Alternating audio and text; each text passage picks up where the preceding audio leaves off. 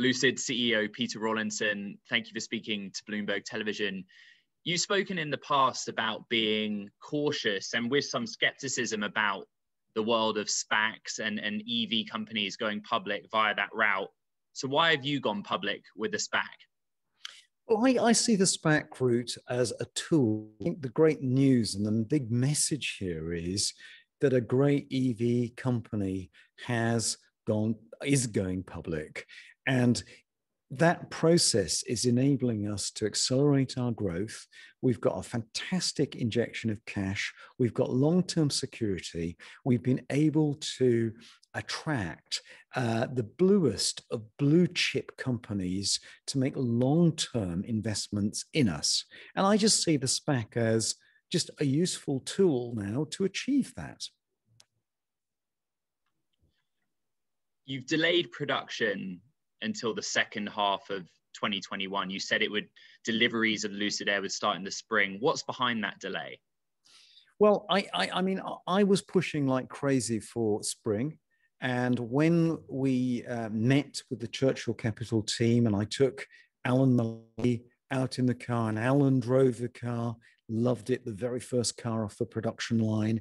We had a meeting of minds with Alan and all his experience from Boeing, with Michael Klein and myself.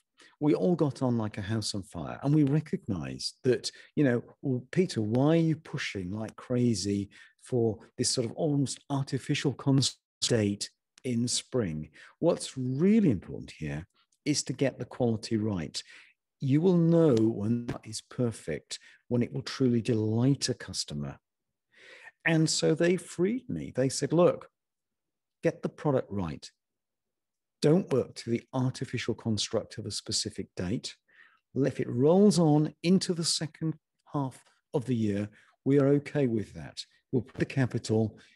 You pull the trigger when the time is right. We trust you to get it right. We know you want to make it perfect. This is a not deal. We're making a luxury car. And you know, when Tesla came to market with Model S 10 years ago, I think a lot of slack was cut then because, you know, the, the electric car was such a fun experience. People forgave the build quality issues the market is not going to be forgiven now. This is a very different world. We have to get things right. And in, the, the impact of COVID is not to be underestimated here, Ed. So, you know, um, we're chasing down a, a, a, a, number of suppliers from around the world. We have 250 suppliers, 3,000 parts, and that whole uh, infrastructure, logistic operation has been affected by COVID. So that's had a big impact of just pushing it out a little bit into the second half. Has the global semiconductor shortage had any impact and, and caused this delay in production? It hasn't for us because we've had some very savvy purchasers in our purchasing uh, teams who actually preempted this and have negotiated supply agreements which have really mitigated that risk. But I recognize it's affecting some of the automakers, uh, notably Porsche, with their announcement very recently.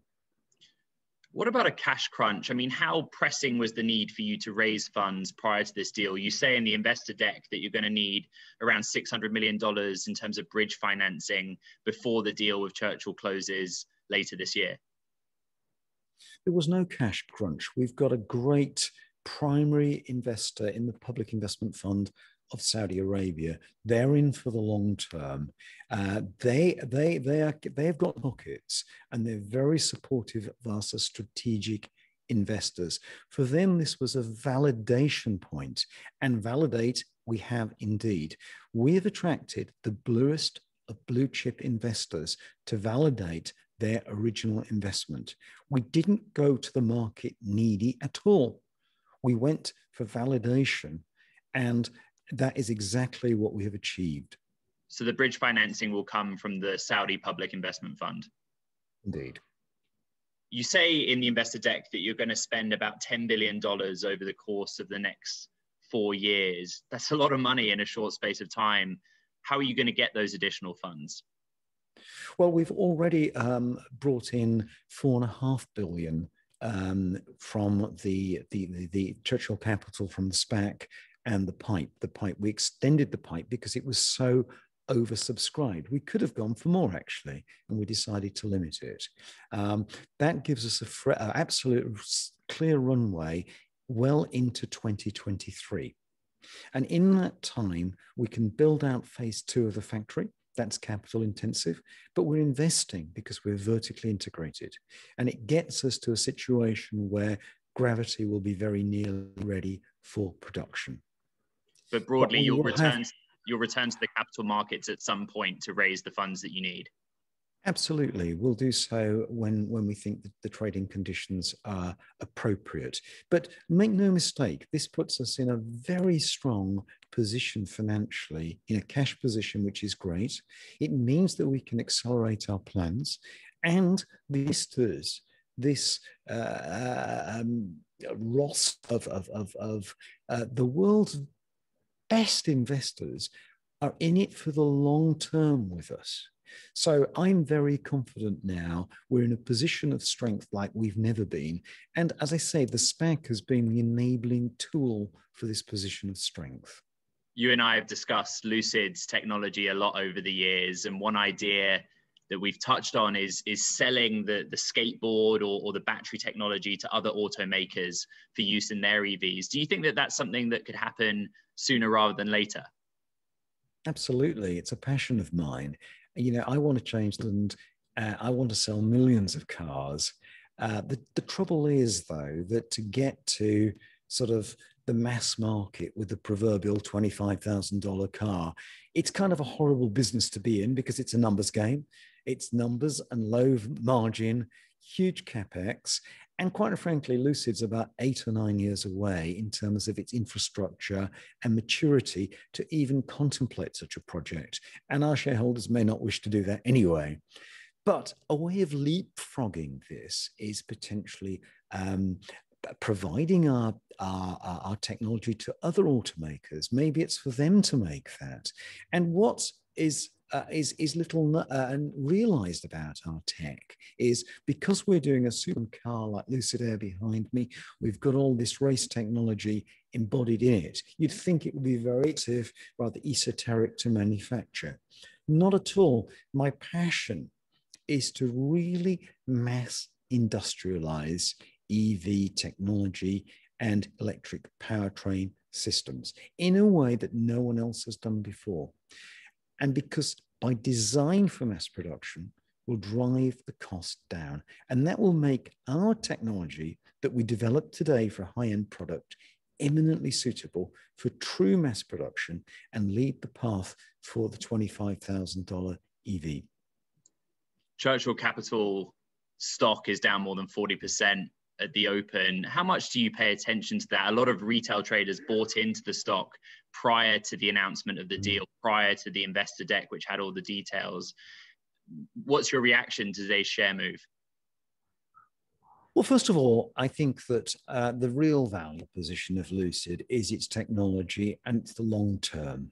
I'm a term thinker, and I passionately believe that the company will be huge based upon its technology in the long term. So I, am not too alarmed by um, short term is uh, the volatility.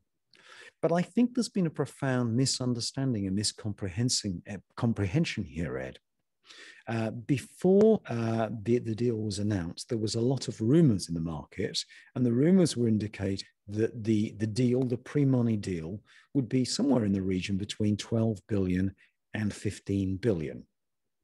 Uh, for investors in CCIV, 12 billion would be good because uh, CCIV would have uh, uh, had a bargain with its invest in Lucid, and 15 would have not been so good because that would have been viewed by the market as a higher price.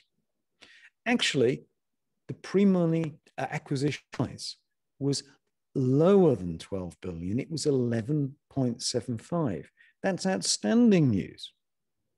But what has also happened is a series of unprecedented events we were able to attract the very best of the best investors. And we were significantly oversubscribed. That led to a larger uh, pipe than we'd originally plated. But moreover, not only did we attract the very best, the bluest of the blue chip from the right around the world, in an unprecedented manner, it committed at $15. And I believe this has not happened before.